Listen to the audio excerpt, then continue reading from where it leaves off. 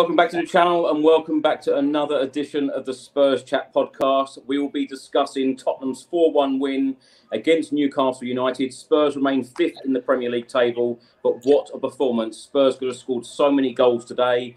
Um, now, we are live on YouTube. We're also live on X and on Facebook as well. So if you'd like to get involved, give us your thoughts on today's game and who uh, was your man of the match today. Uh, Heung-min Son has now provided 83 assists, a club record overtaking Eriksen's 82.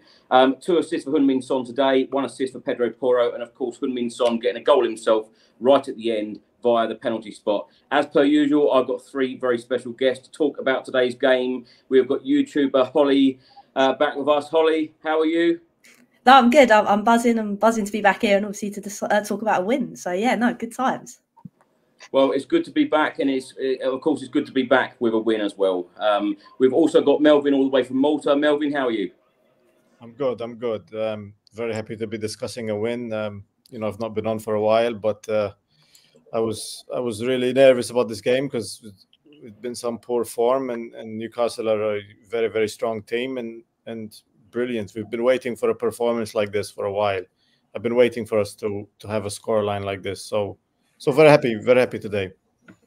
And we've also got the man that brings us the trophies every single time he's on. We've got Richard Whitehead back with us. Rich, how are you? yeah, good, thank you. Yeah, always, always happy, smiley after a win. Obviously, um, yeah, what a result! Uh, what a team performance! I think when we when when we analyse the game, lots of lots of great performances all over the pitch. Yeah, um, raise that confidence level that had been knocked over the last couple of weeks. But yeah, very happy. Always, always glad to be on the show, Chris. Well, of course, Tottenham Hotspur four, Newcastle United one, Spurs went one 0 up, uh, assisted by Heung-min Son. Of course, Destiny Udogie could not miss, uh, and Richarlison, uh, of course, back in the team today. He scored in the 38th minute, making it 2 0. Uh, Richarlison, of course, added a second in the second half, making it 3 0. Uh, Heung-min Son making it 4 0 from the penalty spot, and Joelinton scoring in stoppage time right at the end of the game. As I say, Spurs remain fifth in the Premier League table, but we are now three points away from the top four and only seven points away from top spot. Of course, Arsenal lead the way at the moment. And uh, if you said to any Spurs fan, I think in the summer, half uh, the halfway point, we're going to be seven points away from top. I think most people would have taken that very, very gladly. Uh, match stats today: possession Spurs fifty-seven percent. Uh, to Newcastle's 43. Shots Spurs 23 to Newcastle's 9. Shots on target Spurs 12, Newcastle 3. Corners Spurs had 3 to Newcastle 6. And fouls Spurs 10, Newcastle 12. Holly, let's start today's show with you. Your thoughts on today's game? Well, it's definitely a bounce back, and I think obviously after the West Ham one, uh, we needed a bounce back to say the least. Um, and I just wanted to see us today to actually have a shot uh, rather than try and make the perfect goal. And I think today kind of proved that we can manage to shoot and get the ball in the back of the net rather than walking it in. Um, and it's quite nice, obviously, seeing Sonny uh, on the wing, seeing what he can do and absolutely annihilating uh, Trippier. So no, yeah, for me, it was a game that we, we needed to come back from. Obviously, we're all very disappointed against West Ham, um, and we know that Newcastle aren't the easiest teams to, to go and play against. But obviously, where they've been playing so many games, as the commentators kept reminding us, um, it was nice to go out there and get the job done. Well, we just come to you. Let's get your thoughts on today's game because let's face it, the last couple of weeks have been hard. Four defeats in five before today, so it's great. I know it was a great performance, but it was it's just great, a great feeling to get those three points again, isn't it?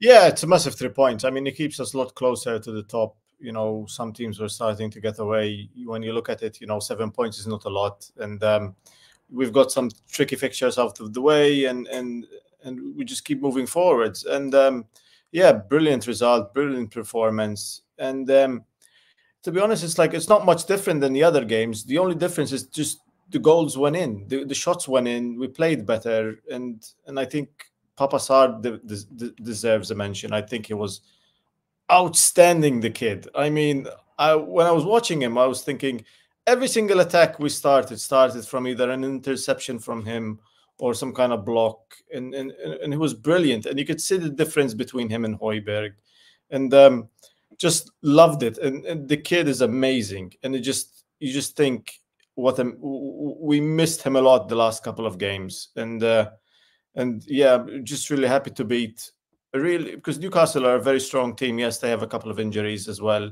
but you have to. You have they have to, twelve. I know we've Yeah. got a lot of injuries, but they've got twelve. So let's be honest about it. But three points is three points, and you know, both teams have got a lot of injuries at the pro- uh, at the moment. So Yeah, exactly. And it's you have to find a way to win, and I think Ange definitely did that. I think the, the substitutions, putting Richarlison up top, and and and bringing in Sarr, I think the midfield was getting outrun without those two. And even Richarlison deserves a mention because he was outstanding as well. Probably his best his, his best game in a spare shirt that I've seen so far. I mean, lots of people have rolled him off, and and and I think he's he's still he's still gonna be important for us this season. And he scored two goals today, and he's gonna have the next game, and he's gonna think I need to score again, and he's just gonna continue that form. And I'm very very happy for him because he deserves it. Obviously, coming back from an operation, and I'm sure that's not easy, and, and he's frustrated, but that's gotta be massive boost to him scoring two goals at home in front of the Spurs fans. I mean, positives all around, and and and we, we go on to the next game. I mean, I mean, brilliant. The team looks to be gelling more and more with each game, and and yeah, it's def. I'm very very happy today. glad to hear it, Melvin. Richard, are you very very happy today? That was a, that was a decent performance today, wasn't it? it Yeah, you know, be, be honest, Spurs could have scored ten or more. Yeah, you look at the chances we had, and um, whether it's Johnson had a couple, uh, Richarlison obviously could have had a hat trick at least. Um, Sonny um, were cut through their defence easy. There, good Chris goes. Bye, Chris. See you in a minute.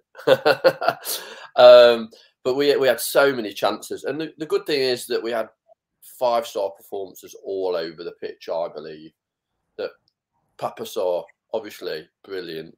Like like Melvin said, he's come back into the team like he's not missed any gameplay at all. I think there's a clear difference, like you said, buddy, around him and Højbjerg. I think he offers some he offers more energy. Um, that the, the ball is moving so much quicker. Uh, Kulusevski, again, a, another good uh, performance from him. And when I look back at all the games that we've played in the last five, we've been in all of the games for sure. Our issue has been finishing, but also that because of how Ange wants to play, the players have just not been on it. And and, and today, I think everybody was in unison. There was lots of great, um, great movement. And Doggy was playing as a centre forward half the time, which is brilliant. And uh, for me, it definitely was the, uh, the the icing on the cake for a weekend, with obviously Arsenal losing as well. Hello, everybody. By the way, I've just Yes, joined the stream. Hello, everybody. Smiling faces again. It's lovely to see, isn't it? It's fantastic. Um, who was who was Chris Dunn? Because obviously I, I've just joined, so so so we've been round once. Okay, so Yeah. uh, I'll just give my thoughts quickly on the game. Obviously, absolutely made up that we're back to winning ways. I thought I thought it was a probably the best performance of the season. Um, tailed off a little bit in that first bit of the second half, which we'll come to later, no doubt. But all in all, especially that first half, it was just a hundred mile an hour, wasn't it? And it was good. It was really good. So a lot to talk about. Let, let's get straight to that that first goal. So Holly, um, Son back on the left, uh, lovely run and cross to Udogie. So talk us through that goal. What was that all about? It was great, wasn't it? It was a madness. Um, like I say, I think I've always said I prefer Sonny uh, down the middle. Um, but now that Richarlison is back and he's managing to find the back of the net, I'm all for Sonny down that wing all day long if he's going to do that every game. Um, it was just a great bit of play uh, for Sonny. Sonny was electric uh, the whole game. I think obviously after that uh, press conference after the game of the West Ham one, it was kind of like he wanted to prove to everybody that Tottenham are still here. We are still going to fight for these games, and I think this Newcastle game was definitely probably evident of that. Um, and obviously for Udogie to score his first Premier League goal as well um, is just amazing. And I think the thing for me for that goal was the fact that rather than trying to find the perfect goal and walk it into the net, Udogie's first thought was, "I'm going to touch this first time, and it's going in the back of that goal." And I think that's what we've kind of lacked in the last previous game. So yeah, for me it was it was a banging uh, first goal to open the count. It's uh, absolutely fantastic. Melvin, what, what do you make of this the inverted fullbacks? I mean, they're inverted, but blimey, aren't they high up the pitch? I mean, it's, it's unusual because we're not used to this, are we? Under Conte and Mourinho, but seeing those fullbacks up, it's done about you, but I, I absolutely love it. And uh, seeing them pass to each other and setting each other up almost in the middle of the pitch in the second half, unbelievable, isn't it? It's, it's different, but it's it's it's working, isn't it? Yeah, both of them. I mean, Udogie and Porro are quite very, very fast, very, very strong, very good on the ball. They have, I mean, Porro Porro has a wicked of a right foot and can really shoot, can really cross. Udogie on the other side. I was thinking before this game actually. I mean, he's not really got any assists or goals. I was thinking before before that. I really wanted him to start contributing more because in in the Italian league he did contribute to more goals and assists than than he did for us. Hopefully it will kick on now and and, and he'll get a couple of more. I mean, it's what we need. We need goals all over the place. It's but I mean both of them are brilliant. I mean Pedro Porro. I mean, some people doubted that he would have fitted into our system or he could defend. And I mean, what a what a player! And you could see it. He has so much passion for the game, and he wants to win. And he goes insane with every single tackle or every single block he does. And and Udogie is he's only 20 years old, and he's he's really really strong and really really fast and just perfect for the Premier League and probably one of the best young left backs we've had for a long, long time, probably since we've had Danny Rose at the club. And um, and I, I haven't seen someone fit into a position so well since probably Kulusevski played for us a year and a half ago when he when he came came from Juventus. So I mean the fullbacks have been brilliant, and, and the, the whole the whole team has played really really well today. I, I don't think we put a foot wrong until we conceded you know an, an unfortunate goal in the end, but but but today I'm really, really happy with the way we played. I mean, we've played this most season, but this for some reason today, you know, the goals just went in, and and it, it maybe it's something they're doing in training, maybe it's just repetition of these things and getting used to the system and and, and gelling, or maybe you know it was a kick up the ass, you know, from from from Postecoglou, which which is something that sometimes players need, and and maybe it's Son because he played down the wing. You know, you, you don't know. It's it's a combination of all these things, and and may it continue. Hopefully, you know, we, we get the the next three points because we need we need to get into a run like we did earlier this season where we won four or five games in a row, and and we can't drop any more silly points because we're gonna we're gonna lose a couple of players in January, and and we need to you know we need to pick up on these points now because because if we need if we're hmm. going to push for that top four we can't we can't drop anymore anymore like today. I mean today i was desperate for the second goal and once we got that second goal i was relaxed. Yeah yeah i mean what talk, just going back to Udogie quickly melvin you watch a lot of the italian football because obviously your fiance's ac milan fan i believe uh, did you watch any of Udinese last year? And, and if you did, uh, was Udogie showing the the runs that and, and, the talent essentially that, that, that we've seen this season, or was he playing a bit more defensive? I, think he was playing as a wing back, wasn't he? He played as a wing back, but uh, he was unfortunate last season because he started really well and then he got injured for a while. And when AC Milan played them, he was injured and then didn't play. So he was out for quite a bit of the season. But when he recovered, then he got, you know, his full fitness and sharpness, he he contributed for a fair bit goals. I think he had combined eight eight or nine goals and assists for the season, which is which is great considering he was out for for for for the majority of, of it. But he played he played he still played quite a bit of football. But yeah, in, in the Italian league, he was he was brilliant. Plus, it's probably not as fast and, and attacking as the Premier League, but he just fits the system really really well. And and he has the, all the attributes of, of a of a brilliant, brilliant fullback. He's strong and he's fast and he's very, very good on the ball and he doesn't he doesn't panic. Well, he, he did the mistake last week, but for a young, young man playing this well, this early in, in, into his Spurs career, and he and he played. He's playing for the for the Italian national league Uh, national team now. He's getting picked ahead of really, really, really strong, strong players as well. So if he if he continues the way he's doing, I'm sure he'll be playing in the Euros or a massive part in the Euros as well. But he's a really strong, strong player for us. Probably one of one of my favorites. These young players that we've got in the last few transfer windows, him, Pape Sarr. I just love the young players, yeah. the energy they show, and the it's like it's different than the other like Højbjerg and Davies. They're quite slower in, in, in the games. They slow it down, but they just they just speed and and and and, and sprint forward, and, and I just love that in, in the players. Yeah, yeah, absolutely. I think we've got a good one there, haven't we?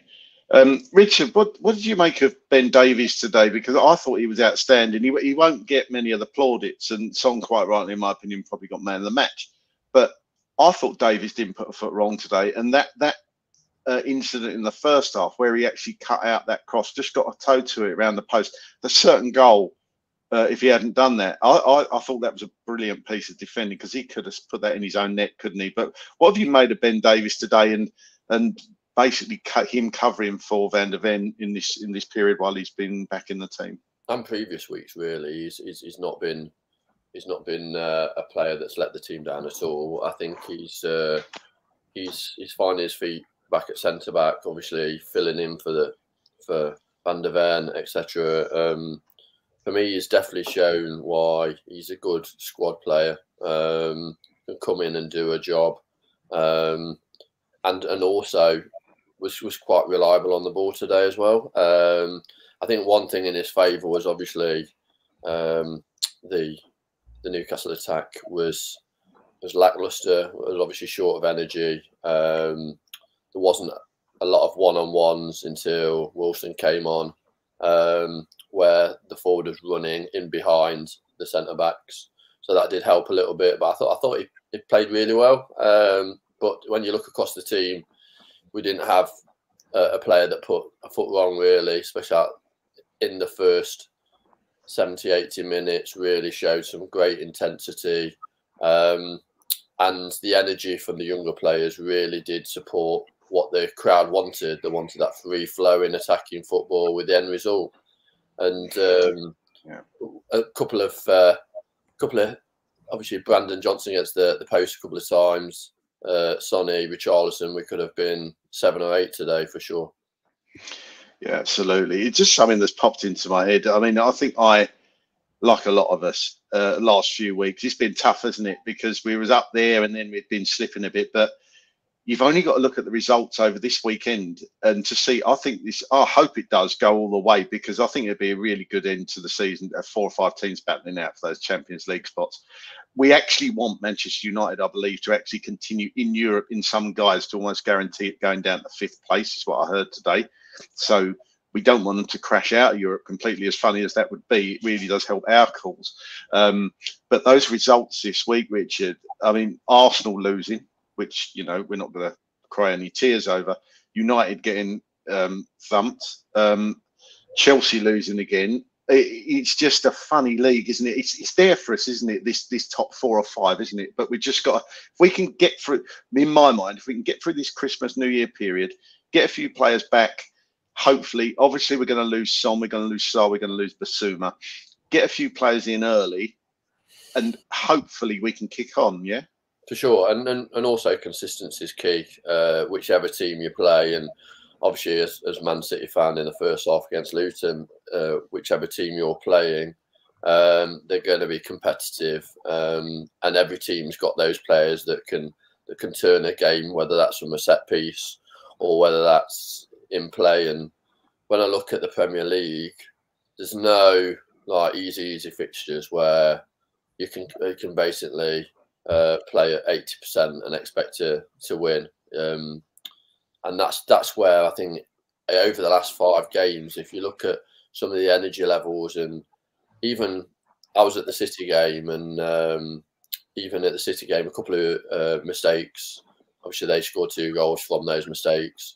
Obviously, West Ham we had two mistakes there, uh, and that's about concentration. Um, and that's what we need to keep. We need to keep that concentration for the whole 99, 100 minutes, whatever it is, and um, keep on task as well. I think focus is a real word for, for Spurs this season. Keep focused, um, keep delivering what the manager wants, uh, and hopefully we can have reinforcements in January to to negate those those players that are going to play obviously international duty in the in the tournaments that are going to play and um, and keep the levels that we have kept up in some of the games. Uh, yes, we're going to give obviously the opposition the odd opportunity to to hit us on the break or um, especially th- th- those counter attacking moves.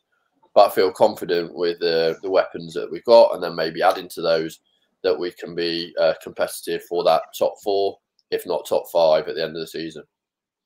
Absolutely, yeah, yeah absolutely. Holly, just coming over to you. Let, let, us go on to the second goal and another another big involvement from Heung-min Son and Richie got his goal, his first with his foot for Tottenham, I believe. Um, what do you make of Heung-min Son on the left? I touched on it earlier, but for me, I, I think he looks so comfortable on that left wing. He gets on the ball more. And if we can have a centre forward with, well, let's take Richarlison, for example. I've never had that much faith in him, if I'm honest. I want him to work, of course I do. But if Richarlison I think Richard we could do with another striker to push Richarlison, right? Uh, I don't think Veliz is quite ready yet, but if we do get a, a centre forward in the window, I wouldn't be. Uh, I'll be very pleased with that. So, what about you? Do you feel that Sonny's best position is on the left? We know he can do a job through the middle as well, but for me, just seeing him on the left makes me realise what we've what we've missed with Harry not being there, obviously. Yeah, definitely. And I think the thing is because we didn't have anybody firing up the top since obviously Harry sadly left, it's kind of like that was the best position to Son to play for us to start scoring goals. Um, and I'm going to be honest, I thought at the start of the season that he maybe lost a bit of confidence to taking a, a man on. Um, but I think maybe in playing down the middle and now slotting back out to the wing has given that confidence again of I can beat a man. I mean, we saw it today, obviously, with that second goal we absolutely skinned trips and then managed to pass it back to find Richie uh, on his foot. So I think it's true. I think if Richarlison can keep his confidence now, he's got two under his belt at home. Um, I would definitely prefer to see Sonny on that wing because I think Sonny can do that one touch pass around the corner. I know Richie did it a few times in that position, but I don't think it was probably the best. I think Sonny's just got it like that. He knows how to how to do that, whereas Richie takes a bit of time to find that pass um, in behind. Um, so yeah, for me, Sonny on that wing. If Richarlison can keep firing, so be it. Um, like you said with Veliz, I think with Pedro Porro's crossing, I think it suits Richarlison and, and very well. I know there's a few times in the game where I think there was a chance where Richie didn't know whether to kick it with his foot or header it. Um, and if he kind of adapts that kind of his game and works out what part of his body he's going to use, I think we've got a good threat with Richie and potentially Veliz. But you're right. I think January is the perfect time to get someone in that can potentially as well find the back of the net. Because, like we've all said, I don't think Sonny's that out and out striker, but we know he can do a job. If we can find someone that's natural position as well as Richie mm. to push Richie on, I think that would be the perfect combo. Yeah, absolutely. I, I mean, you you saying that about Richarlison there, he kind of leads on to the and for me, he should have just gone with his hips initially, but he kind of got himself in, tied himself up in knots, didn't he? It was a bit of a funny one that because it was just a tapping, wasn't it? Um, mm. But overall, I thought I thought Richarlison was pretty good today. Did what do you think, Holly? Do you think what do you give him out of ten, Richarlison today? I think just because of how down about himself has been and the fact that he hasn't been able to fire. I mean, last week obviously missing the post with that header by like margins, and you're thinking, my word, that's that's a sitter pretty much. And today to come out and bounce back and be like, no, I'm going to score two goals. I mean, even if he stayed on, he could have maybe taken that penalty to get his hat trick. I don't know whether someone would have let him, but still, it's kind of like this is something he needs. I think he's very much a confidence player. Um, but no, I think out of ten, I'd maybe give him, I'd give him an eight I think just because of how low and how poor he has been, the fact that he's got that resilience to bounce back today and manage that, I just hope that he carries on basically. Yeah, to- totally. He, he's he, look. I, am not his biggest. I say I'm not his biggest fan. That that'd be harsh to say that. that, that that's not what I mean. But do you, do you know, I, I want to see more from him. Is yeah, what I'm he's saying. very frustrating. he he is. He's incredibly frustrating. I want to see the Brazilian Richarlison the one we saw at the World Cup, and then I'll be more than happy. But you know, um, let's hope he can come good over the Christmas period. And certainly, we're going to need somebody, aren't we, in January when Sonny goes off to the Asian Asian Cup? But you know, because he could be out for, for, four games, five games, perhaps. So yeah, let, let, let's hope Richie comes good. Melvin, Melvin, what did you make of Pedro Porro today? I've got to ask because uh, there was a couple in the comments there that saying big shout out to Pedro Porro. I thought he was brilliant today. There wasn't many the energy, the crossing, tenacity. I thought he was fantastic, wasn't he? Yeah, I think so. And even Kulusevski, I think not being um, in a way in his way because it, Brennan Johnson was there. I think the link-up play between the two was a bit better because Johnson was more more involved. You know, he nearly scored twice. He was brilliant of a shot. You know, came off the the post or the bar. I don't know which which angle he shot. I I, I swore that was in. I don't know how mm. that that did not go in, but I, I was screaming. I was like, "Goal!" Yeah, it, it wasn't in, but it was insane. But yeah, Pedro Porro has been brilliant for us this season, and um, I think his his his he's he has a real engine. Him and, and Udogie that can both of them go up and down the pitch. They can link up well, and um, and yeah, and with like you said before, with Richarlison on the pitch, it's just another weapon to his arsenal. He can cross it in and try to find him. I think with Son as as as, a centre forward, I don't think I think we lack that that ability. We can't just whip it in first time or cross it high. I think Richarlison offers more of a physical dominance in, in, in the box, something which we lacked this season. And, and Pedro Porro, you know, he scored late against Liverpool, but I really wanted him to want to keep the clean sheet for the for the defense because I thought that was important for us to be able to keep a clean sheet. For I think Vicario was going crazy at the end of the match because because because we conceded really, really late mm. in a mm. poor goal. But yeah, his, his passing is brilliant. He rarely puts a foot wrong. And, and, and when he does, he really recovers well. I mean, he was out of position for that Andy Gordon chance that, that he whipped in. And and we got caught early on. And I thought, oh, they might target Pedro Porro because they know he, he attacks quite a bit. But I mean, we were we were brilliant. We were ready for all of that. And and Bissouma and Sarr, I think, covered a lot of ground today, and and and which which which then gives license to, to these players, the fullbacks, to to push on and and and, and attack and join and join the attack, which is why we scored today. So so so brilliant from Pedro Porro. I think I think he's set, settling in well, and he's, he's been a, nearly a year now because he joined in January. So that's why yeah. why I really like when we buy players in January because they have that six month period to settle and then they have a preseason with the club and they know what the coach wants and then all of a sudden they really start to kick on in the beginning of the season and pedro porro has been brilliant and and he kept emerson royal out of the starting lineup ever since you know brentford. He's not he's not been dropped since then. And and and, emerson was playing well at the end of last season. So you know really really good job. And and, and i hope he chips in more with the goals and assists as well. I'd love to see him score a goal, you know, from a really good shot outside the box.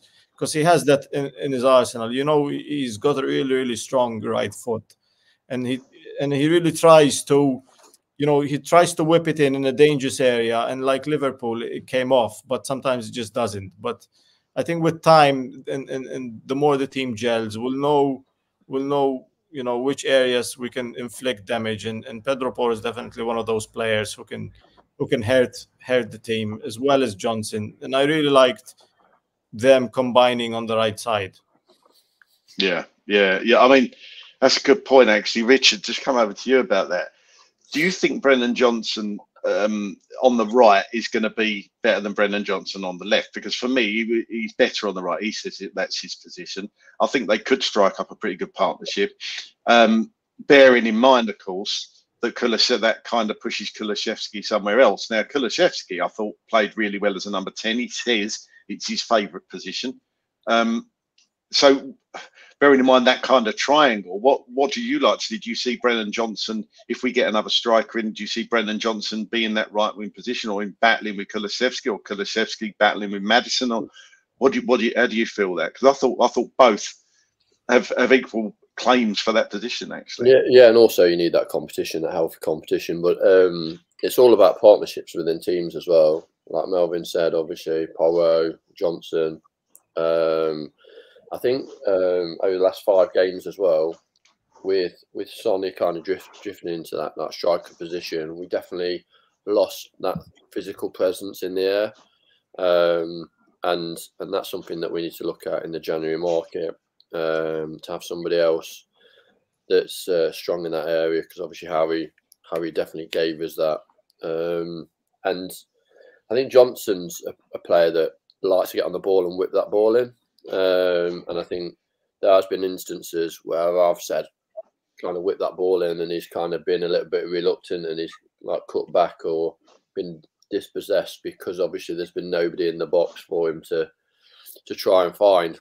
yeah, obviously he's got bundles of talent, energy, um, and obviously again follows the the Ange kind of philosophy around the press as well, which is really important. But um, a massive fan of Porro. Um, I think again he's, he's he's passionate about playing for the team. He wants to give it his all. You can see how much he gives for the team, and if you've got somebody in front of him that then allows him to push on, so to overlap, I think that's really important uh, in in that role that he can kind of push push in because Udogie favors actually coming inside than get than, yeah. than pushing pushing down, which which is quite interesting. Um, and then Porro, obviously, the opposite. He, he, prefers to kind of overlap the winger and then cut inside and amazing ball. Like the the ball for Richarlison's uh, second was like fantastic. Um, and I thought it got away from him obviously at first with that first touch. You can't, but um, yeah, brilliant. Yeah, and that's the vision that he's got. I think that's obviously as a young player, that vision can only get better. Um, but as soon as our Definitely. obviously players get back into the team that are injured, I think we've got lots of options. And then obviously January when we uh, hopefully um, buy in some new recruits. Yeah, I mean, I mean, it's it's funny. Just going back to Kulusevski there, um, it's good, isn't it? Because you think Lo Celso is going to come in and play in that number ten role, but it just goes to prove that whether Lo Celso's carrying an injury or whether Ange just didn't fancy him to start two games in quick succession. I don't know. But Kulusevski, I thought was really good today in that number 10 role. He was everywhere. Um, but Lo Celso as well, when we do lose those players, Lo Celso can play anywhere across that front three himself. So we've got that option to do that. Um, I think oh, Kulusevski, though, brings more energy. That's the reason why he's. He like, does. He's, he's, he he's, does. he's on the. He's in the first eleven. Obviously, his, his talent on the ball. He's, he's obviously a strong lad uh, yeah. but also yeah. the energy brings. Absolutely, absolutely. I think you're uh, almost at the end of that first half. But what what did you make of that first half as a whole? Uh, were you did you have a smile on your face as much as I did that first half because it was just outstanding, wasn't it? It was. It was like liquid football. It was very nice. Um, and the thing is, it, like I keep saying, the thing is that we were actually clinical. I know there's a lot of chances, obviously, didn't go in the back of the net. Uh, but the fact that we obviously managed to get two in, I was very pleased. Um, but I always had that thing in the back of my head of we need to make sure we score early in the second half because I can see how this story's going once again. But no, first half was cracking. Everybody put a shift in. Um, and I just, yeah, it, it's just so exciting and I think all Spurs fans are the same that we're actually enjoying watching Spurs again. And I think that was one of the the most one of the, my top things this season of I just want to enjoy watching Tottenham again because it's been so long where we've watched Conte ball, we've watched Jose ball, and Ange was just a breath of fresh air. And that highlighted that in, in that first half. And then obviously after the first 15 minutes, highlighted it again, obviously in the second half. So yeah, I was more than pleased uh, with our performance. Uh, absolutely, and you know it's funny you say that that enjoy watching Tottenham. That's so key because last season both my sons uh, at the start were watching, and then one of them didn't really show much interest in watching, and even by the end, the other one didn't want to watch the games either. And to be honest, I didn't want to watch them, but I had to. Um, but now they're both right, right back into, it. and I think I think that's so important. You can see you try and get a ticket for the game any home game at the moment, and it's very very difficult. Even if you remember, I know I, I very much struggled to get us four tickets for all four of us to go, and that just goes to show the Ange effect, doesn't it? And you want to watch good football, and you you want to watch Tottenham play the way we all want to watch them play, and that first half kind of summed everything up, didn't it? For people asking, Chris is going to be on his way back. He's just had to jump off and do something. That's why you got to listen to me running it until he steps back in. So he'll be back soon. Um, Melvyn, what happened at the start of that second half? What happened? We were so slow again, wasn't it? It was back foot again for a little while. I did worry, I must admit, like Hollie there. Yeah, I think I think that's why you know Pape Sarr and, and Kulusevski in the middle made such a difference because they're both really really fast, strong. They can win the ball. They have legs. They can run for days. All three of them, and I think that's the difference between having Højbjerg in that position than than having Pape Sarr and, and Kulusevski. I think even Gio being dropped, I don't think he's done anything wrong, but I just think playing playing Newcastle, playing Joelinton and, and Bruno Guimaraes, who are absolutely brilliant midfielders, really, really strong. And we matched them man for man, and, and they were strong, and, and we just we just bullied them. Uh, simple as that. We pressed them in the middle and didn't give them time on the ball. And uh, I just saw Gary's comment. yeah, I saw that. Yeah, absolutely. Gary's happy. yeah, of course, Gary's happy. Uh, Gary's day is made when Arsenal lose and Spurs win. well, most Spurs. Yeah, uh, yeah. That, that, that describes most Spurs fans, but yeah, especially Gary. Um, yeah, I was saying, I think that's the main difference today. I was thinking, what's so different? Because we still play this kind of football all season. But I think I think the main difference is Kulusevski might be better suited playing in that role. I think for the entire for the entire season because he's still effective in that role. He still runs a lot, and and Johnson is more of a one-on-one speed. He can beat a player. He can shoot. He can link up and and I think he does better on the right than Kulusevski. I think versus West Ham, we destroyed them in the first half, but I think Kulusevski, in a way, slowed down the attack sometimes, and then we have to bring it back. And we had none of that today. It was straight to the goal, straight to the goal, straight, straight to Son, straight to Richarlison, straight to Johnson. It was always direct, and and the play didn't stop once. And I think Kulusevski playing further back that kind of you know Eriksen role, if you want to say. I think he's more suited to that because his decision making is very well. He can win the ball further back the pitch, and he's got legs to run forward with it and and and, and bully players off the ball. And I think over time we might see him drop back because we're going to lose Sarr and Bissouma in January anyway. So so he might be more suited in that position, and I think that's going to be, barring any injuries, I think that's going to be his position for a while now. I don't think he's gonna move further forwards. Don't, I think there's a lot of versatility in the squad. I mean, Richarlison can play, you know, left, center, right. Son can play right, center. I think Ange will probably keep them on their toes. Even the opposition change change it from game to game. I don't think Newcastle expected this lineup either.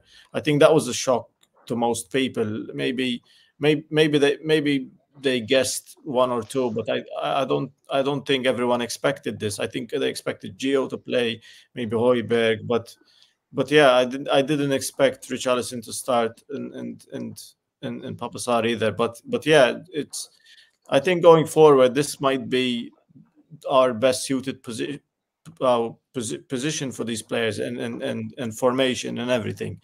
And what do, what what did you think, Craig? I, I, I, I just thought, to be honest, as as a team today, I can't really single out any any any particular person. I know we've, we've touched on certain players, but I just thought as a team today, I just thought everybody was fantastic. I, I, even the subs that come on, um, it, it, it just looked like we were gelling again, and and that that's the thing for me. It's the key. You you can say somebody's had an outstanding performance. We've we've seen uh, Harry Kane carry us in games before, and Harry's one man of the match after man of the match. And but today, you could have almost given it to a lot of the players on the pitch, and for me, that just speaks volumes. Personally, the midfield I'd like to see eventually, and I think Ange kind of hinted at this, is Bissouma, Bentancur, and Maddison in the three. Now that that, that would be fierce, and we and which seems harsh on Sarr because I thought Sarr was absolutely outstanding himself today. Um, but Sarr's we're going to be losing Sarr obviously in, in, in, January. And for me, at the moment, it looks like Højbjerg is going to be coming into that role. But you know, if we can get somebody else in, we'll um, we'll see. But Richard, think, let's come on. Yeah, I think on, carry on. Yeah. in the team. I think I think Sarr's one of our one of our best players in the midfield. I think he's, I think, fant- uh, he's fantastic. Yeah. So um, going back to obviously Melvyn's point about Kulu, I think um, if you look at the amount of touches he's had in other games compared with today. Vast amount more touches, more influential, um, bringing the ball up from that in that final third of the pitch. Um, yeah, he's. I would I would want to see him more in that number ten position now, uh, just because, like I say, he's he's strong enough, I believe, to be able to bring that ball out as well as he's got a pass in him. Uh, so mm. yeah, big shout out to him today because he was an excellent, excellent game for sure. I, th- I think Sarr actually brings out the best in Bissouma as well. They seem to play well Yeah. together for some reason. It's, Sure. it's funny, isn't it? Those little interchanges. They, he just seemed very comfortable with him alongside It's, him. it's those Um, partnerships, isn't it? Like I said, a- along It the is. pitch, you've got you've got those, and in in the midfield, obviously looking for that triangle at some some point, and then obviously your your, two wide wide players on either side. It they, when those partnerships work, they can interchange as well. It's it, it really confuses the opposition team for sure. It does, and, and you know, dare I say it, the fixtures now are on paper anyway a little bit more kinder um, than over the last few weeks. But you know, Everton are playing well. Um, and we've got them Form in team. a couple of weeks Form before team. Christmas. Form Yeah. team, you know, yeah, absolutely. You know, with that ten, if that ten point deduction wasn't there, they'd, I think they'd have been well up the table. I can't remember somebody told me they they would be above, but they're, they're um, Well up there. twenty three points now, isn't it? Yeah, oh, well, there you go. Yeah, yeah, Yeah. absolute form team. So, so yeah, not not to be um, taken lightly, absolutely. But Richard, let's stay with you. Talk us through Richie's goal, his second goal, and that pass from Porro. It was absolute mustard, wasn't it? I think obviously with what you get from Richie is, especially in, in, in the game today, a lot of effort around winning down balls, had a lot of opportunity to to break free from. The centre backs looked a bit fragile today uh, from Newcastle, and uh, as a commentator was was was saying, looked like they picked up a couple of knocks, so the movement was very poor, and I think uh, Pedro had obviously identified that, identified the space in between the two centre backs, and Richie was literally right in the middle of them in that space. Brilliant um, cross stroke Hollywood pass to to Richie and um, took it down. Like I said earlier, I thought he'd kind of let it go a little bit too far in front of him, but it Yeah. felt nicely for him just to stroke it underneath uh, Dubravka. So it was uh, it was nice to see um, that obviously just getting the one goal is great for Richie and his confidence, but getting uh, getting a brace in a game, he's going to take that uh, uh, forwards. And I, I think I think for me as well, those opportunities that Richie does get, when they are kind of, he's not got to think about it. He's more, I've got more confidence that he's going to put it away. It's when he's got a little bit of time, maybe he's got two or three touches, uh, he's got to pick his spot, and then Mm. I'm not that confident he's going to actually finish. So um, yeah, great for Richie. Actually, you can take that moving forwards into the other games, and uh, hopefully we can go on a little bit of a run. And again, like I said before, momentum is really key with with these results. Obviously, Newcastle at home, it's a big team as well. It's um, one of those teams that obviously have over the last couple of seasons have really stepped it up with the, the signings they've made, but also the progress, obviously Champions League, etc. Uh, I think for me, it's uh, it's a great scalp. Uh, a lot of the players can can um, can build off this and build into the next two or three games, and, and, and go back into a run. So get a run of five six games, uh, winning streak. That'd be great to take that in, obviously, into the into the new year. Absolutely. And just looking in the comments, people, Gary asked who was the man of the match. It was Son, but quite rightly, people are saying Sarr, man of the match. It's like I say, I thought they was all outstanding. Just five And or six. Absolutely, and, and and Davies for me, you know, he's he does get a bit of stick, but I thought he was sensational today, as I've said as I said earlier. Hollie, what did you make of the front three when it came out? Actually, just going kind of back to the team lineup. What, were you expecting Richarlison to start, or were you happy with that front three? I'm not gonna lie to you, I was a bit I was a bit taken back to see his name uh, obviously on the team sheet, but then obviously I was a bit more happy that Højbjerg uh, was was left off it. Um, bless him, he is a great obviously Viking as we as we all call him and love him, but he just hasn't been up to the mark. So to see Richarlison put in kind of instead or over Højbjerg, I, I think for me was definitely better, um, and especially obviously that proved to be.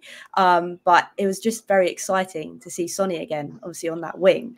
Um, again, that was something I wasn't quite expecting. If I saw Richardson, I was maybe expecting him to see him on the wing, like we have seen in previous games. Um, so I, I, really thoroughly enjoyed it. To be fair, the fact that I know we've spoken about already, but the fact we're seeing these partnerships now being made across the park, so to speak, through to our front three, I think the way we're playing football through obviously the, the final third is amazing. It's just obviously trying to be a bit more clinical, which today we obviously didn't lack because we obviously managed to score four. But in previous games, that's been the, the missing ingredient, so to speak. So yeah, for me, to the fact that we can still mix it up and, and play Richardson through the middle and, and talk about that momentum. If you can keep that up, I'd thoroughly yeah. enjoy seeing that front kind of combination more often. Yeah, I, I agree. It, it's funny though, isn't it? Because the players we've got out, the attacking players, Perisic, who we all thought was perhaps going to be leaving even in the summer, I think he's been a miss because of his delivery and when he's mm-hmm. come on on that left wing position, he can cross with either foot. I still actually don't know what is his stronger foot, Perisic, because he's taken corners with his left hand, his right. I mean that, that you don't see that very often, do you? Um, and Solomon, of course, we've we've been missing. We've, people tend to forget him and we've we've we've got strength in those positions, haven't we? Um, you know, even with Bryan Gil coming on today, admittedly, I don't think Bryan Gil's sadly going to cut it at Tottenham. I think, as I said on the stream last one I was on, I think some players aren't made for the Premier League and just will not make it. But I think he could do very well in Spain. I think there's a player in there. What What do you make of Bryan Gil? What would you do in the transfer window? I know we'll come on to it later, Hollie. But what do you think in, in January? Do you think he's Do you think we should take accept an offer for Bryan Gil if one comes in, or let him go on loan somewhere? I don't know. It's really difficult because right now we're sitting in quite a good position because we've got all these players to play around with in midfield and attack. Um, but as we've seen before, if we lose one of those key players, it can be a little bit difficult. I'm not saying that is, is Bryan Gil up to the scratch of the Premier League. I'm not too sure. He just seems a little bit too lightweight. But there is definitely a player in there, and is that something that we can kind of build with Bryan Gil? I, I, I don't know, but um, it's really difficult. If it means we let him go um, or loan to, to build himself up again and, and to get him necessarily off the wage bracket so somebody else can can come in, I'm there for it because we all know that we kind of need that striker.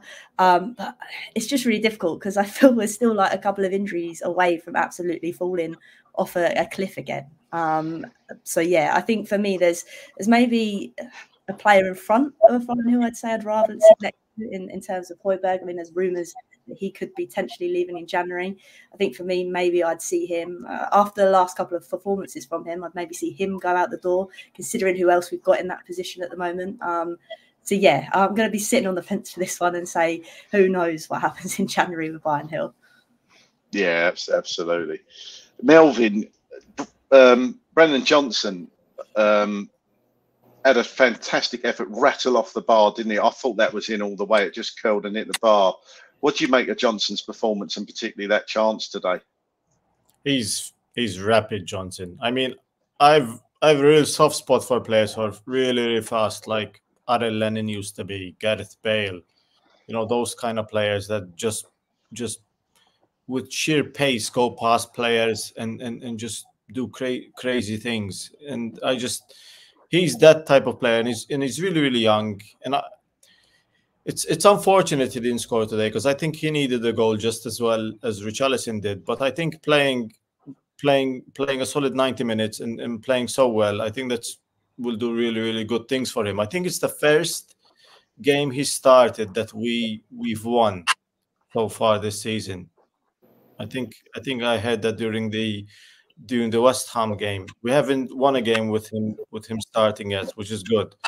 So yeah, I think him on the right with Pedro Porro linking up with with with Son and and Richarlison. I think they were dangerous, and and he's he doesn't slow down the attack like Kulusevski does on that side. So it's unfortunate he didn't score, but but I think he he will chip in with goals throughout the season. I think he will probably end up with he'll do well to end up with close to eight or nine goals this season. But I think he will if he keeps playing the way he is and and the the Postecoglou system gets more embedded and more gelled within the team, I think he he will definitely start to chip in with more more goals, which is something yeah. that we need. We need the goals to be spread, especially in January when we lose when we lose a couple of couple of players. Yeah, absolutely. Chris, we're up to uh, Chris is back, everyone. So uh, we're up to uh, Brennan Johnson rattling the bar. So if you're ready to take the reins back over. I'll hand back over to Chris and say bid everybody farewell and happy Spurs Day. Lovely to get a win, and I'll see you on the next stream soon. Thank you so much, Craig. See you soon. No worries. See you later. Bye. Hollie, let's come round to you. So we're up to the 63rd minute, of course. Uh, in that same minute, Heung-min Son uh, with another opportunity um, just wide. And I've written in my notes here that is when the stadium really got rocking. That is when the stadium started to get extremely excited by that point because, of course, it has been a difficult couple of weeks. Although we've played well in some of these games, the results haven't been there because before today, of course, four defeats in our last five. Uh, of course, we've got that one point against Manchester City, but um, that atmosphere was back today. The smiles were back on people's faces, and you know, I keep saying it. Only three points away from top four. We're nearly halfway in, you know, of this league season, and only seven points away from top spot. Most fans would have taken that, wouldn't they, in the summer when Harry Kane left? Definitely. I think the fact that obviously with him leaving and obviously Ange coming in and breathing this new breath of fresh air is just incredible to see that we're not very far off the top even this far into the season. It's just that it's been an amazing turnaround. And I said at the start of the season, I just want to enjoy watching Tottenham again. And I think we've gone above and beyond that at the moment in that kind of sense. I feel like we're actually, I know obviously it's been a rough couple of weeks, but I've still enjoyed watching us. It's been yeah. very frustrating, but I've still enjoyed it. And, and obviously today to play the way we did, everybody firing on all cylinders and to come away with three points at home, like you said, see everybody rocking in the stadium. It, I think it's something we've needed and it will hopefully push us on obviously through to the next couple of fixtures over the Christmas break. Absolutely. It's a very busy December. Rich, let's come to you. Um, as I mentioned, the stadium is rocking at that point. Uh, Pedro Porro uh, with uh, a chance that he put over the bar in, in 66 minutes. How good was Pedro Porro today, and how good has he been this season? Because of course he had a, a bit of a rocky start. It's fair to say. His debut against Leicester City last season when we bought him. Um, you know, Tim Sherwood, ex-player and manager, come out and said that he was very naive. Uh, thought he was a terrible defender. But this season, I think Pedro Porro has been one of our standout players, hasn't he? Yeah, for sure. Melvyn mentioned it earlier about obviously the delivery and how good that was. I think his energy, the passion that he shows for the team, it's infectious. Obviously, that's what Ange's wanting. He's wanting uh, leaders within every position. Um, and obviously, last season, one of the things that I was very critical about the Spurs team was the lack of leaders within the team. And uh, it was evident that obviously, when he gets on the ball, he's positive with that movement as well. He's really positive. And um, that's what we love. We love somebody on the ball that's going to push forward and really press the opposing team. He's obviously he's got a couple of tricks as well. He's not scared to uh, show them. Um, confidence has grown. I think obviously when he first came into the team, obviously last season, it was he didn't really know his position and what what what, influence he would have on the team. But also, I think when he came into the team, like Tim Sherwood did say, naivety in lots of different positions. Giving the ball away in silly positions was something he did. This season, he's cut those um, mistakes out, but also been a player that's been willing to bust a gut to get back to support the team if anybody else gives the ball away. Melvyn, let's come to you. Um, let's talk a little bit about Heung-min Son. I don't know whether you've covered Heung-min Son already, but if you have, then let's do it again because uh, I think that his performance today was absolutely exceptional. Um, a couple of assists today, uh, and of course a goal from the penalty spot, our first penalty of the season in the Premier League. Um, what do you think of Heung-min Son today? Uh, you know, showed real leadership today, didn't he? Yeah, he he's been brilliant all season, and um, I, I, didn't think he was going to start the game. I thought he was injured. I wasn't sure, but I'm really happy that he played, and I'm really happy that Postecoglou changed it up a bit and he put him in his uh, obviously in his more natural position on, on the left. And uh, he just fitted in and, and, and he seemed really really sharp and really really direct. And his link up play was really good and great to see him score because you just love it when you see score Sonny score him smiling in the stadium everyone going absolutely crazy. It's just it's what you want to see it's it's great. And and and uh, yeah happy captain. You know, when you, I don't think anyone hates Son or anyone dislikes Son. He's probably the most likable player in the Premier League. Son, and it's just he's brilliant. And um, yeah, what more can you say about Son? I mean, scoring the penalty. I, I've I don't think I've ever seen him take a penalty kick, and I was curious to see what he was going to do with, with the shot. And and to be fair, it was a brilliant penalty. It was something Kane would have been proud of, you know, to see him score like that. When I saw Rocket in in, in the left hand side, I thought, yeah, Son knows how to take a free a penalty kick. I'm not I, I'm not gonna worry anymore because I was curious to see one who was gonna take it because I, I wasn't sure who was our main penalty taker because all season he's not had a single penalty, like you just mentioned. Yeah. So so yeah, just it's been brilliant, and I think Richarlison, the link-up play between the front four, if you can say, was really good today, and and they all linked up really really well, even with the assist to Udogie and and and, and everything. He's just I think he knows when, with experience on, I think earlier in the season or even the last few seasons, he wants to score. When he got the golden boot, it was all about him scoring, scoring, scoring. Now it might be more, you know, Son the provider from the left hand side. It could be he knows he knows when he's he has an eye for goal and he has an eye for an assist. And and today he managed to do both. It, you know, a couple more games like this, and yeah, just it's just what we need. What we need. He's he's cl- he's class one, and half a chance, and he's going to score it. It's just it's the difference between between world class players and, and and an average player. But Son gets half a chance, and with his technique, and it's so dialed in. It's just the muscle memory, and it's just he's going to score them every single time.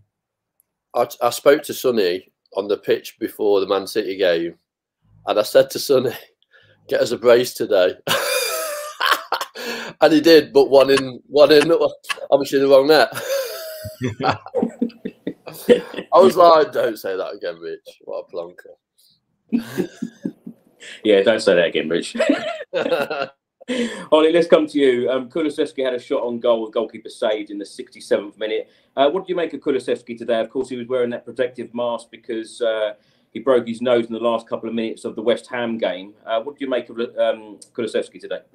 I think he's been great. I think I think everybody was great today, and I know we've all kind of spoken about it. There's there's not really one player that we could pick out and say they've had a bad game. Everybody was brilliant. Um, Decky especially. Um, I think he gets a lot of stick sometimes, and, and, people say he's not quick enough. He's not this. He's not that. But my word, the man has an absolute engine within him, and his physicality is next to none. And I think he's now starting to obviously make the right decisions. Um, and I think partnerships across the park down that side is just excellent. Um, so for me, I think Decky just keeps doing what he's doing. I think we're seeing him in a great position.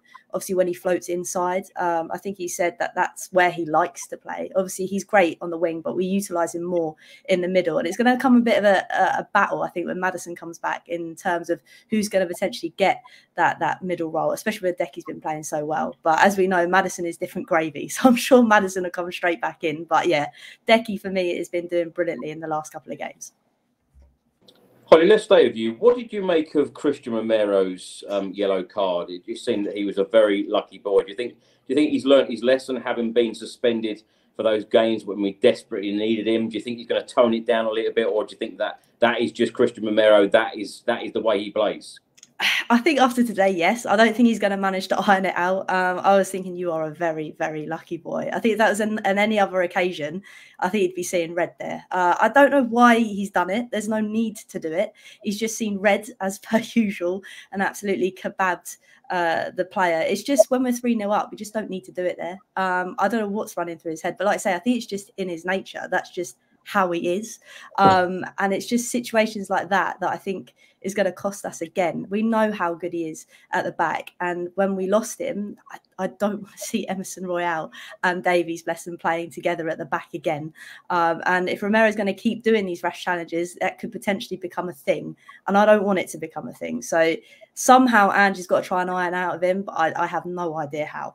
yeah, I think that that uh, scenario was because of the. Um situation between Wilson and Bukayo. There's a little bit of a ding dong, and then um, Romero, Romero just kind of got in between them, and you can see that look in his eye going, "If I get a chance, I'm going to go through you."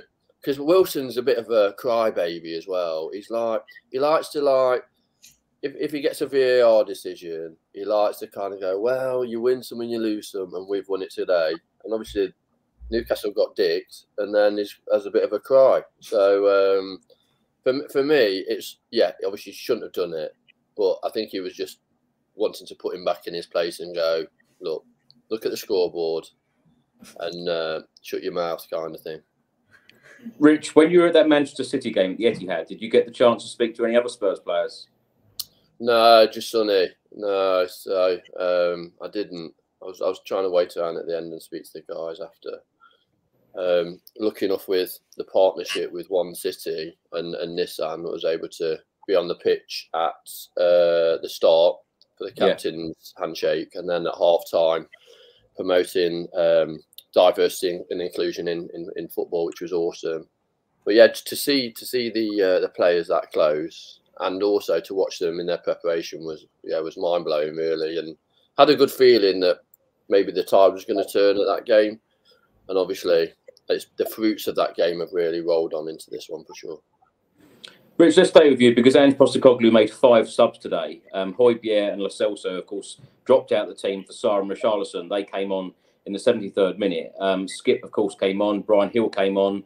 And Jamie Donley making his uh, home debut uh, for Tottenham Hotspur today. Um, out of the squad players that, you know, the players that don't really get that much game time, who would you say so far this season has really taken their opportunity and perhaps surprised you?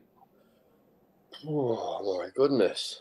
Um, well, I think there's obviously a clear difference with all yeah, well, difference with some of the players for sure. Um, obviously, we spoke about this a little bit earlier around how slow Højbjerg is on the ball, and and, and compared with Pape Sarr and uh, Bissouma and um, Bentancur, and having those players in those those positions that are able to not take that touch and, and make the ball kind of move for you uh, has, has been really important in the games that we've we've obviously won. I think Lo Celso kind of it's been a bit of a regeneration from him. Obviously, he's he's coming, and I think it, it doesn't last the whole ninety minutes for sure. Um, I think his impact and energy levels are probably fifty or sixty minutes. Um, but apart from that, I, I still think um, those players that come on, there is a clear difference between that that starting eleven and what we've got on the bench. That's why we need recruits, especially when some of the players go out for international duty in January. Uh, our problem is that if you you saw that when the substitutes did come on, not initially, but maybe five or six minutes later, especially when we had quite a few changes, how that intensity massively dropped, dropped, and then we were open. There was four or five minutes where Newcastle had three or four chances where you thought they could score every time they go forwards, and I think that's something that we need to we need to be focused for that 99 100 minutes, and we need to be prepared for potentially that onslaught because some teams are really strong on that 90 minute plus that could easily bag one or two goals. So I think that's something where we need to really really work on. Melvyn, let's come to you now. Before today's game, of course, we lost four out of five Premier League matches. Um, I can't quite believe that I have seen so much negativity about Ange Postecoglou.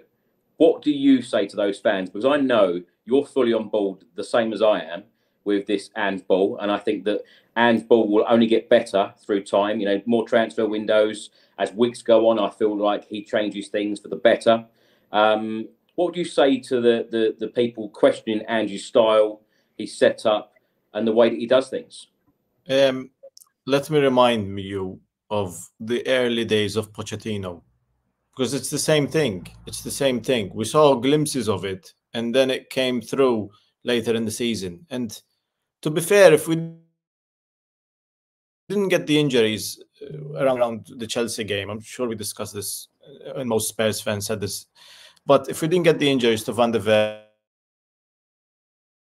and Maddison and and in the last. But Postecoglou, what he's managed to do. Can you hear me? Okay. You're a bit in and out, Melvyn, but I am going to say that I, I hope I hope you don't mind me saying this as well. When we were sitting top of the Premier League after ten unbeaten, you did say to me, "Chris, we're going to win the Premier League," and I said, "No, calm down, calm down, Melvyn." I was absolutely convinced that we were going to win the Premier League. I was absolutely convinced, and I was telling my brother, I was telling my girlfriend every day, I'm, I, th- I think we're going to win it. I think we're going to do a Leicester and win it. But yeah, but I've seen I've seen enough in the manager and the way we've played and the way they set it up. I think it will get better and better over time. And we saw today the way we played. I think the manager's quite he's I think he's very, very smart. I think he can spot a player from a mile away. And and and he knows his system. And and, and look at Brennan Johnson. I mean, I saw him play for for Nottingham Forest, and I would never have chosen him to sign him in a million years, probably. But he picked him out and he said, "Listen, I want him."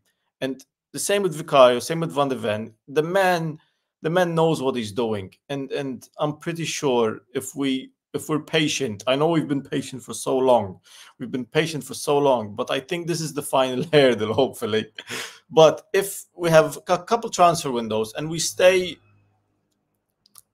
and with some luck, because you need luck in football. You just look at the Liverpool match. I mean, we were lucky that game, and you need some luck in football and some things to go your way. But I think is definitely the guy. I mean, I mean the, the, fan the fan base. Remember last season? I remember last season being embarrassed of Spurs and not want. Uh, I wasn't excited. I, I didn't see the press conferences, and I was I was watching them and I was half watching them. I was like waiting for us to concede. I was waiting us to have a shot, and and and, and then we had the whole Kane saga, and, and I just think next summer or even even this season, this season is still right in front of us, and it's not even ready. But I'm so excited for this project because I think I mm-hmm. know where it's gonna go, and once we get the players that we've lost through injury and and, and, and all of this back fit, and we have a lot of I'm not going to say deadwood because it's offensive to the players because they're doing an absolutely brilliant job. But we have some long serving players at the club that once we move on and we bring in new blood, like we did with Vicario and Van de Ven and Maddison, we will have a lot more depth and we will have a lot more options. And I think something that we noticed in the last couple of games that we were losing, the players were getting tired. And that's why we're conceding so late. Mm-hmm. And and and today we had more legs, you know, with with Bissouma and Pape Sarr in the middle you know the, the, the game was different. We had a lot more energy in the middle, and even Kulusevski with them. We we we won the ball and we finished strong, and that's why I think that's why he keeps putting four subs in because to maintain that level of energy. But when he doesn't have quality on the bench and he's bringing in Højbjerg and he's bringing in someone who doesn't cover the role adequ- adequately enough, I think but I'm fully on board Postecoglou. I don't think. But to be fair, to be fair, Chris, and, you, and you've heard me say this before, I was fully on board with with Jose. I was fully on board with with with Conte, but we were doing well at that time, and I thought, where's this project going? But honestly, honestly, Postecoglou, what he's done at the football club in this yeah. short amount of time, yeah, with the with the resources that he has because because we lost Harry, we lost the best player. He doesn't have Harry. Imagine if he had Harry at the club still. Imagine, just imagine if we had Harry Kane at the club still. I think we'd be miles ahead in this project. But I'm fully on board this manager. I love the guy and I love what he's doing, and I'm ready to to, to lose a couple of games like we've been doing because I think the players in the club will learn from it, and we will and we will see where we are as a football club because we know where the holes are now. When we lose a couple of games and we make certain mistakes, like Udogie did the mistake versus West Ham, but the boy is young. It's okay. He's he's a brilliant footballer. And one my, my only criticism of Postecoglou, which which he till the end of the season he probably will still. I want to see the kids brought in earlier. I wanted to see Jamie Donley brought in when we were four 0 right away. Bring him in Let's see what what he has. Let's see let's see Dorrington. Let's see some of the kids have been playing brilliant football in the academy, and I really want to see them play. And I really want to see them play 20 minutes against Premier League opposition, not not two, three minutes. I want to see them have a chance. And I don't want to see them played in the FA Cup. I want to see the first team played in the FA Cup. That's probably something that we'll speak in January, but I want to see the kids play now especially when it's 4 0 and the game is done. Bring them in, give them 20 minutes. I don't know if, if, if you guys agree as well. I'm, I'm sure they will get the opportunities, uh, Melvyn. It's great to see that Jamie Donley came on. You know, it was only a couple of minutes um, at Manchester City and, of course, today as well. So, you know, it's great to see that these players are going to get opportunities. Um, one thing I was going to say, and Joshua has, has written it for me, Um, Ange did say when he started it will be a bumpy ride, um, but you know even during those defeats in the last couple of weeks, we've seen signs that we are moving forward as a football club. And you know I know I keep saying it, only three points from top four, you know almost halfway through the season. Um, Hollie, let's come to you before we talk about um, the Nottingham Forest game on Friday. The transfer window is coming up in just a couple of weeks' time. What do Spurs need to do for Ange Postecoglou? What do you think Ange will be demanding in this January transfer window? Because as much as some fans do criticise the club and in transfer windows, when you look at the transfer window we had in the summer, you know it's a major rebuild, and we brought in a number of real quality players. The whole of the spine of the team has changed. Heung-min Son going into the middle, up up top, but Maddison coming in, Van de Ven coming in, Vicario coming in. They've all been fantastic signings amongst others. Um, but you know, to take the club forward and to put a smile on Ange Postecoglou's face and really give him, um, you know, the tools to move the club forward. What do we need to do in January? I think it's just fill some of the gaps. I know January is not the place to do all of that, um, but like you said, this January I'm actually a bit more excited, a bit more hopeful that we're going to do that. I think we've kind of all said tonight we kind of want that striker. Um, we want a striker that's actually an out and out striker. Um, whether we get that in January might be another question. Um, but it would be so nice to give Richarlison someone to compete with. I know we got Veliz, but again, he's only getting little minutes here and there. I don't think he's quite the end product already. I think somebody's already said that tonight. But I think for me, it'd be a striker to really show that intent that that's going to push us over the line in, mm. in the next half of the season. Um, but you know what? Like you said with with the summer transfer, rather than pick and hope players out the tree that we think are going to become good, like we have before, it feels like there's actually a plan in place. And I hope in January, this has been something that Ange and, the team have been obviously deciding amongst themselves way before um, the season even started. We hopefully we had a plan in the first couple of games to try and find out what kind of player we want to get. I don't want to be a last minute oh dear, we need a striker, let's get him in now. I want it to be a planned, a pre-planned one, which I, I hope it will be because I feel like we're heading in a better direction this season, um, especially like we said from the summer transfer window. So yes, for me, even if we just bring in a striker that's going to do the job up top, that I'm happy. Rich Hollie says there, bring in a striker. I know a lot of fans are saying exactly the same thing. We need to bring in a striker. Um, what does that mean for Richarlison? What does that mean for Heung-min Son? Heung-min Son going back out to the left because we do have, you know, that forward line. We know that we have got a lot of versatility where you know players can play in a number of different positions. Is it going to be another player to come in um, and perhaps can play centrally but can also play out wide? Yeah, and, and, whether we're going to get that player in January, I'm not. I'm not sure, especially at the level that that Ange want. I think um, those centre back um, positions are more important. To be completely honest, obviously, you look at the issues that we've had in recent weeks when we've had the suspension and injuries out, and then you're playing your left and right back and centre backs, and just just not yeah, not the spatial awareness, not the uh, not the ability in the air. Um, I think playing one and Davies obviously he's played quite a lot in in that centre back role, but um, two too much, and obviously in the Premier League with the quality of opposition, which I said earlier, every team's got those those players that can uh, that can hurt you. I think those centre back uh, positions are, um, are, are more important. To be completely honest, I'd like to see I'd like to see a striker come in maybe in the summer and um, really go for it. Uh, and whether we get one or two players in those attacking positions in the summer, but I think maybe we've got like Richarlison and the kind of surgence of Richarlison's from now into the end of the season, and hopefully can continues to build on the confidence that he's got today. Yeah, of course. Ryan writes on screen now. Chris, remember that Son, Sarr, and Bissouma will be gone in January.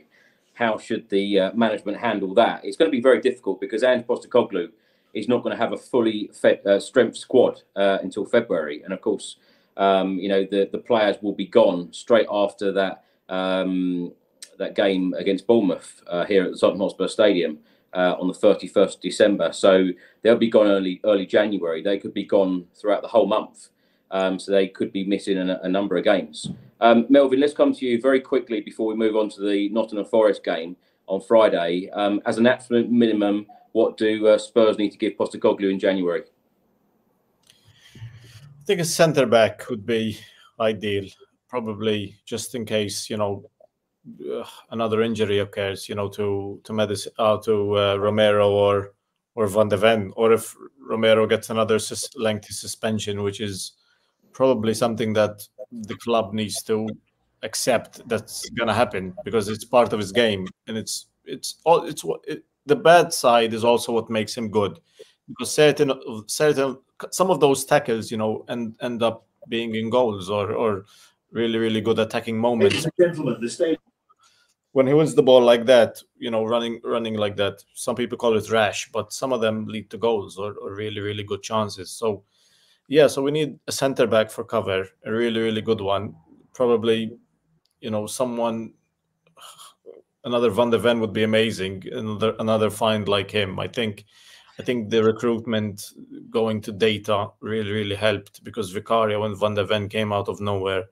Even though we waited for them and we were patient, but they were both brilliant signings. And and people complained that we didn't spend mega mega money on on this or that. But i just i just trust that Postecoglou in his system and in, in in the years of experience that he has the, the, way he's been playing he's been playing this for like 20 30 years. And i just i just think he knows what player is going to fit in his system.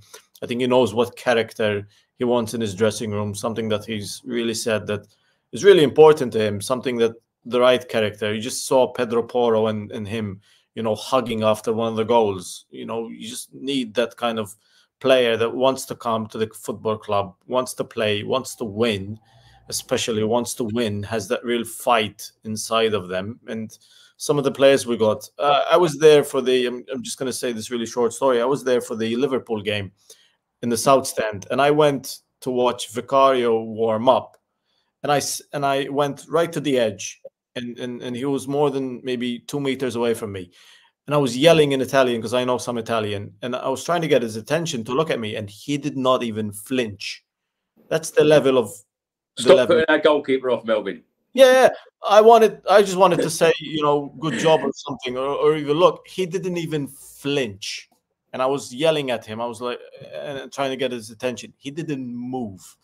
I mean, not even like turn like this to look. I mean, the level of concentration that man had before the game.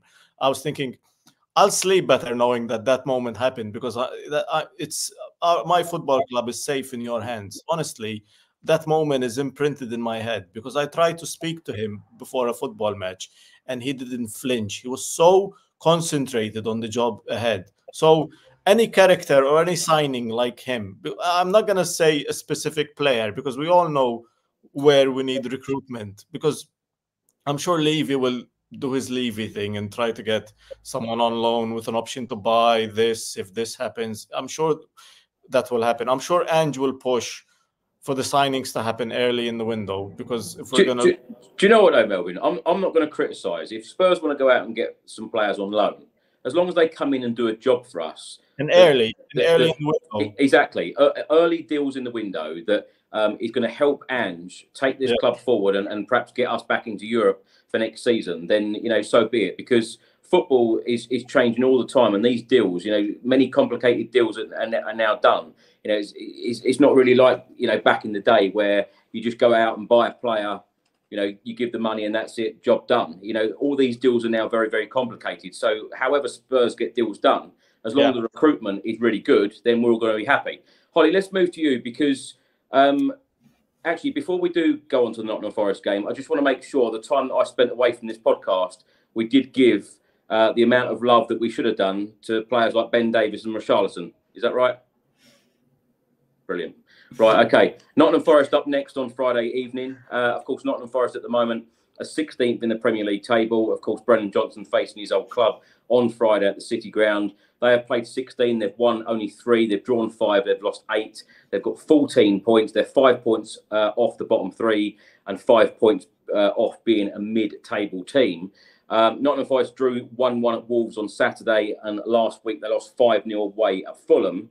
Their last win was at home against Aston Villa, believe it or not, uh, beating them 2 0 on the 5th of November. So they've not won for over a month. Since then, four defeats and one draw. Um, Hollie, how do you see this game going on Friday? Are you confident after today?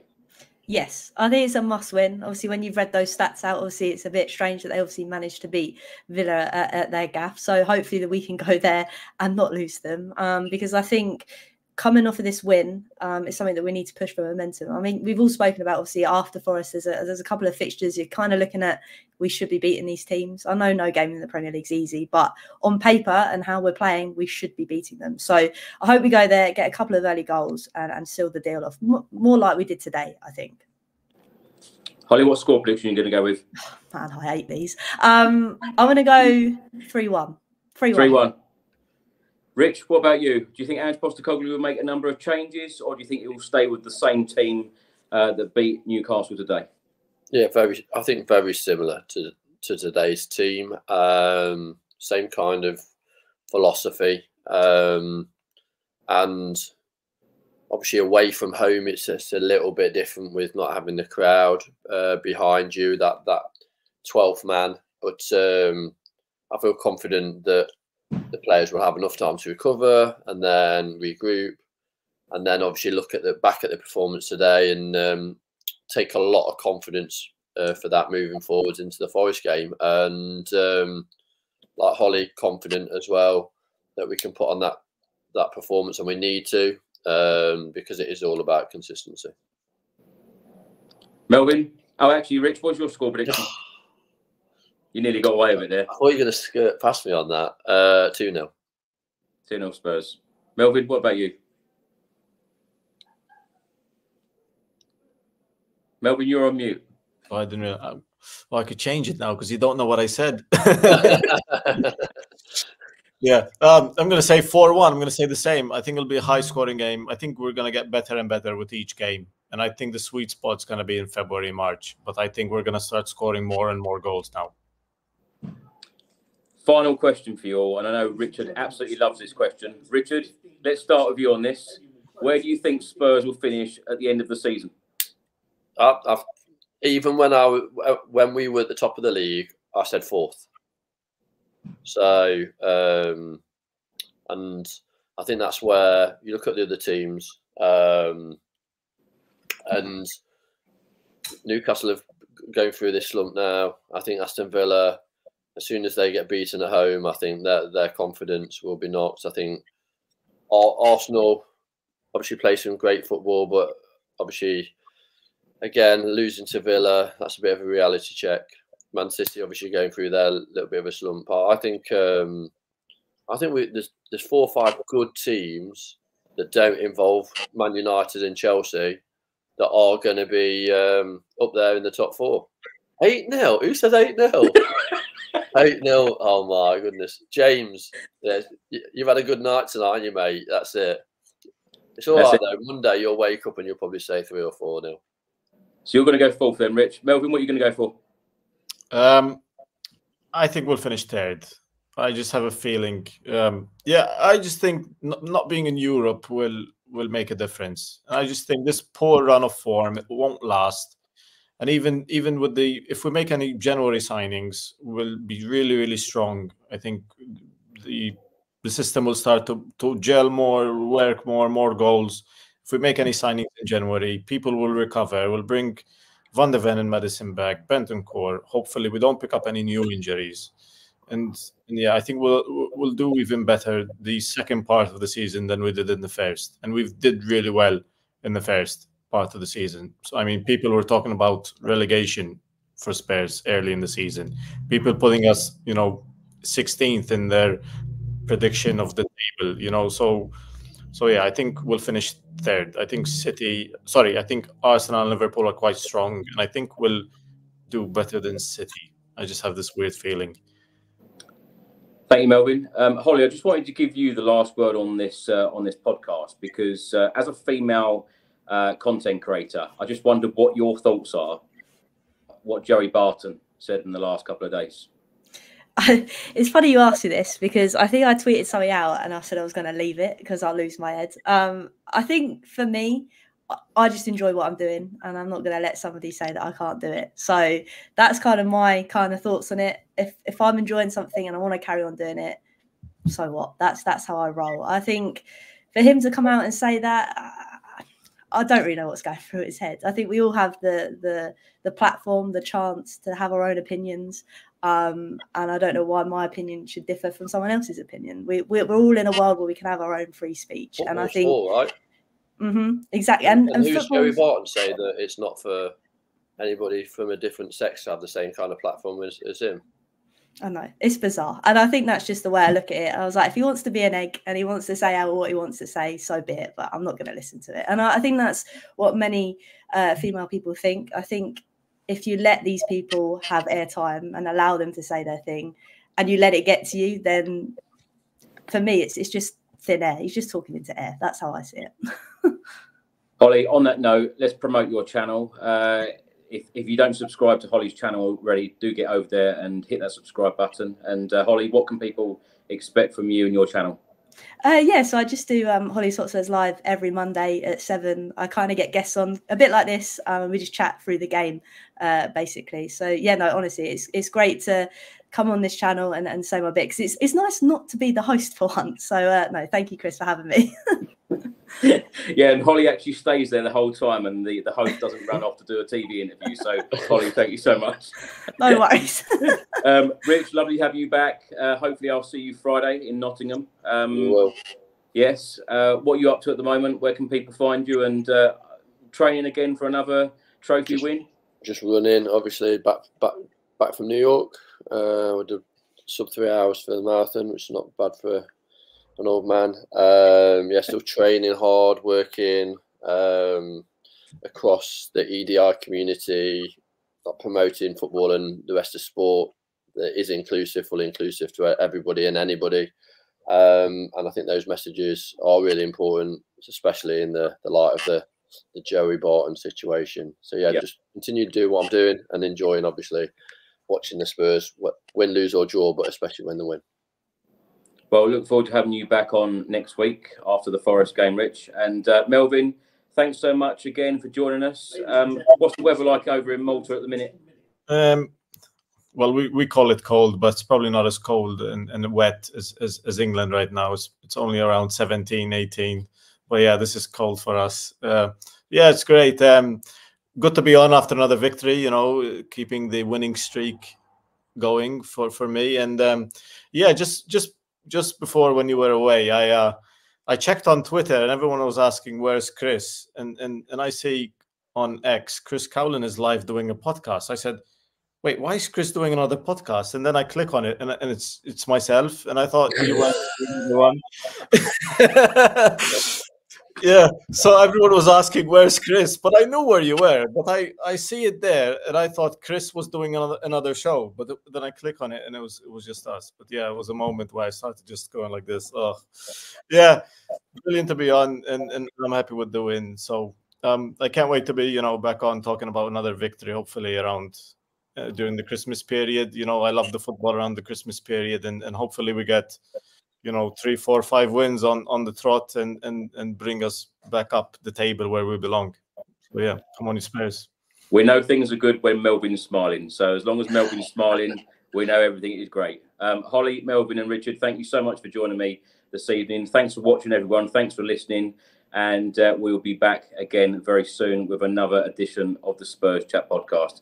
Uh, look forward to next Friday. Of course, uh, let's hope the Spurs can get another three points, and uh, let's hope that we can maintain that challenge for a place in next year's Champions League. Until the next time, come on, you Spurs.